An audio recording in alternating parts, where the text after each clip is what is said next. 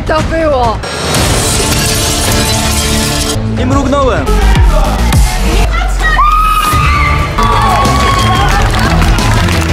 Co to ma być?